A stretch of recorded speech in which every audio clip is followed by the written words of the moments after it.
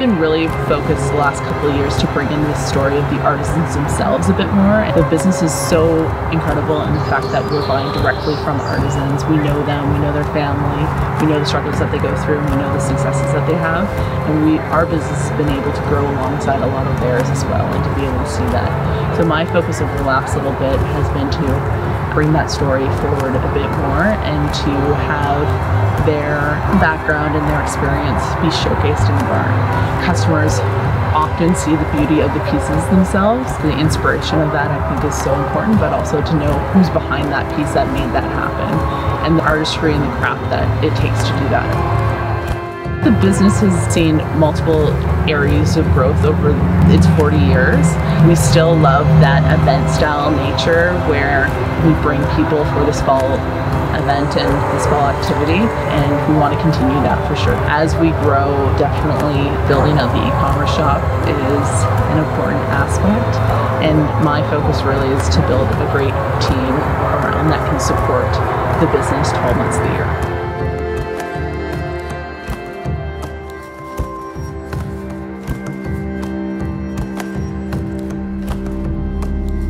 I came back with a few of, of these kind of masks. I was able to sell them on High Street in Montreal and Sherbrooke Street to galleries and shops there.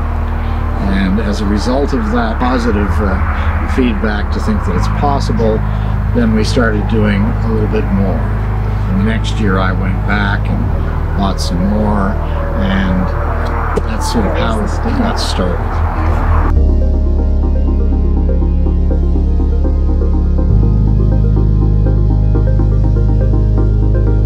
Sounds very exotic, you know, going to Bali on a buying trip, but, uh, and it was exotic in some ways. Bali is just an incredible place, but it was hard work and, you know, for the first few years, never mind having a Land Rover with a driver, you know, Paul did most of his traveling in these little bemos, they're called there.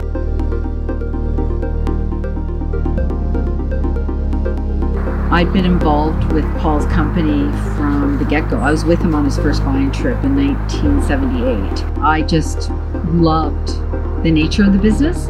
It got offered to me. I mean, Paul wanted to retire and asked if we might be interested. It was just the right timing. It just happened that it was meant to be. Our first day that we opened, someone said, Look outside. I said, I don't have time to look outside.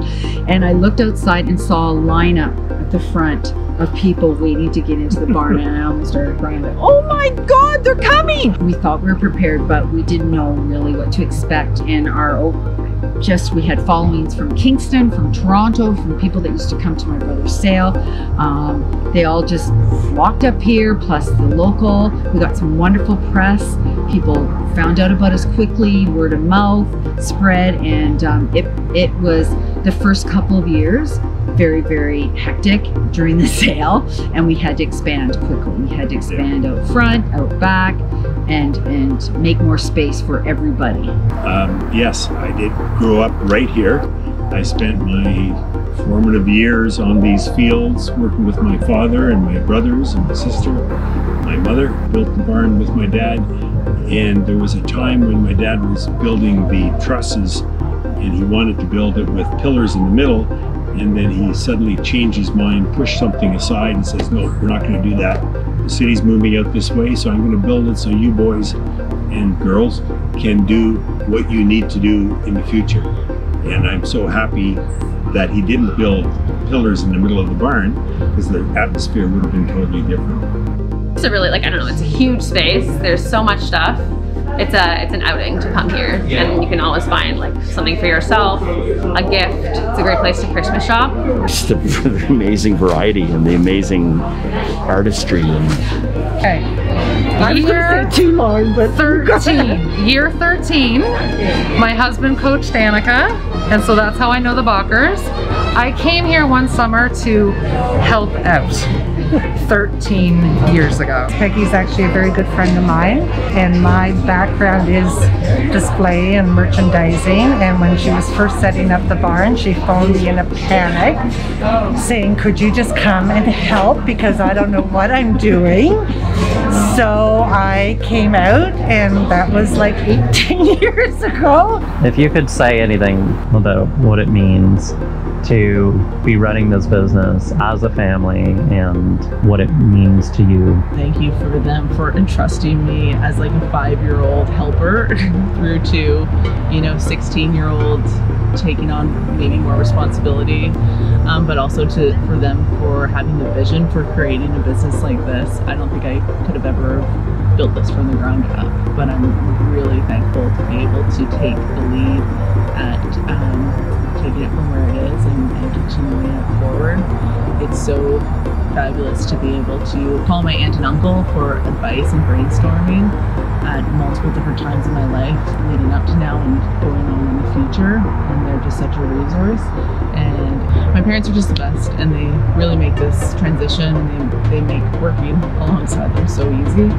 Um, they really help um, with the everyday things and also the being able to craft out the vision and when we hit obstacles how do we deal with it? How do we get through it? So um, and really thankful for my brother too for being able to build us into you know the next steps and the next big path forward. His his advice has been astronomically helpful in the last few years so the whole the whole family have worked together and, and all of our supporters too and all the people who are like family the staff who, who formed a family here too. Um, it's been it's it's all those bodies and all those minds working together to happen. 40 years of memories. yeah exactly. Exactly.